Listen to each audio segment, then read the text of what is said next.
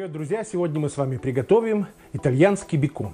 В Италии он называется панчета. Э, рецепт называется панчета теса. Мы его будем готовить с вами традиционно. Вялить в течение месяца. Неделю его солить. Здесь не будет нитритной соли. Хотя в других видео мы с вами будем готовить английские беконы с применением э, нитритной соли. Это будет абсолютно природный. Только соль и специи. Больше ничего. Мы также коптить его не будем. Это будет сыровяленый бачок. Здесь у меня 1 килограмм мяса. Старайтесь выбирать свежее мясо обязательно, так, чтобы было, видите, вот мясные прослоечки, потому что все-таки мы же не хотим есть одно сало. Э, нам хочется, чтобы это выглядело гармонично, и сочетание сала и мяса. Сколько нам нужно соли? Для э, приготовления без нитритной соли нам на 1 килограмм понадобится 4% соли. Если у меня есть килограмм, значит, соответственно, мне нужно 40 грамм соли. Старайтесь всегда взвешивать. Купите себе весы, если у вас нет.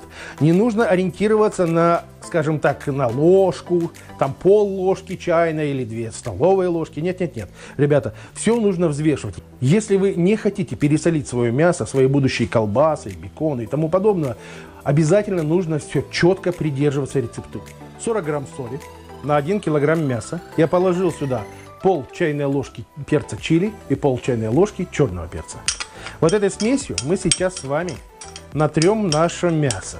Впоследствии мы будем использовать гораздо больше специй. Это первичный посол. Вам может показаться, что соли недостаточно. Не нужно обманываться. Всего достаточно. 40 грамм соли, это 4%. Вполне достаточно, чтобы наш бачок очень хорошо просолился. Все остатки соли сюда. Ложим форму. Если у вас есть металлическая форма, прекрасно. Если у вас есть вот такая вот стеклянная форма, как у меня, тоже замечательно. Что же мы делаем дальше? Наше мясо засолено. Закрыли пленочкой. Обязательно маркером поставьте число с которого вы начали посол. И отправляем в холодильник на 7 дней. Я вам рекомендую каждые два дня мясо переворачивать, для того, чтобы оно равномерно просолилось.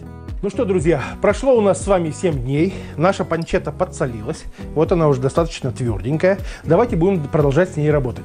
Нам надо ее помыть в пиве или в вине. Белое обычное пиво, буквально полстакана.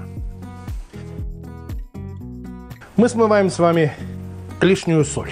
Ну, вот так вот просто слегка его помассировали. И этого достаточно. Следующий момент. Давайте приготовим веревку, потому что она у нас будет висеть и сушиться. Делайте дырку в самом толстом конце. То есть, видите, здесь жира гораздо больше, чем здесь. Мы его повесим вот таким вот образом, и э, все соки и жир будут стекать вниз. Потому что если вы повесите его мясом вверх, то ваше мясо слишком пересохнет. Теперь она у нас готова для того, чтобы сушиться. Но это еще не все. Теперь давайте подготовим специи. 2 чайных ложки черного перца, пол чайной ложки соли, пол чайной ложки мускатного ореха, пол чайной ложки чили, столовую ложку чеснока. Затем нам нужен с вами лавровый лист. Возьмем, ну вот, три листочка. Мелко его мнем. И 2 столовых ложки коричневого сахара. Все это смешали. Наша задача покрыть этим составом нашу будущую панчетту. Берете специи и вот таким вот образом вбиваете в мясо. Она у нас влажная после пива, поэтому благодарно принимает все наши специи. Чем больше специй вы вомнете в нее, тем она будет вкуснее. Ну все, вот она у нас с вами готова. Вот такая симпатичная. Теперь вот в таком состоянии вешаем на 3 дня при комнатной температуре. Не забудьте подставить под нее какую-нибудь э, емкость, потому что в течение трех дней с нее будет капать очень обильно влага, соки, вся жидкость, которая была и до сих пор остается в этом мясе. Ну вот, у нас прошло с вами три дня. Вот так вот она у нас подсохла. Видите? достаточно упругая, но в то же время еще мягкая. Сейчас мы его вешаем в холодильник. Приблизительно таким вот образом я вешаю вот на дверцу холодильника. Вот. Это сушится грудка утиная. Встретимся через 4 недели и посмотрим, как она будет выглядеть и попробуем. Итак, у меня в принципе прошло 31 день. Вот посмотрите, вот какая она сухенькая, хорошо выглядит. Сейчас мы с вами ее продегустируем.